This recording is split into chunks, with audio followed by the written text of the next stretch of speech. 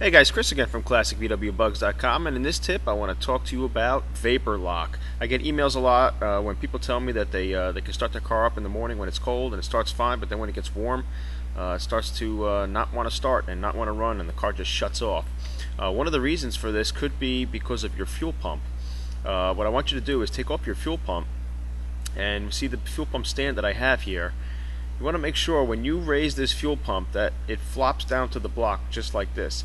If you let it go and it gets stuck midway down the threads, this could be your problem. Because what happens is, is see this pin that goes into the stand and then gets punctured up into the fuel pump as the car's running. Uh, as the car's getting warm and gets hot, that stem that's inside the block will hold that rod and and basically starve the car from fuel and basically put it into like a vapor lock mode. So what you want to do is take that stand out and you can see the stem that sticks out of the block uh, that my dad has here, um, he just put the uh, the top end of the stand in a vise and just started sanding down that stem. So just to get a, a little bit off, you can just use some uh, sandpaper or put it on a grinder.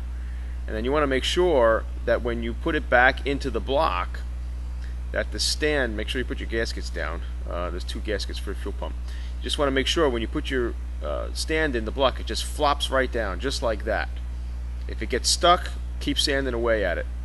Uh, and then put your fuel pump back on. Make sure you put some wheel bearing grease into that fuel pump up inside it. Uh, and then put your second gasket down on top of the stand. Place your fuel pump down and get your 13 millimeter nuts and start tightening it down. You might need a universal end like my dad has here on his uh, ratchet so you can bend around and get around behind on, on, the one in the back. So uh, yeah, many times uh, you know when your engine gets hot, that that stem that sticks through the block will swell and basically hold the rod and then basically uh, put your car into uh, starvation mode where it's just uh, not getting any fuel. Um, and then when it cools down, it, it runs again. It could drive you nuts. Uh, that's it. Chris at ClassicVWBugs.com. See ya.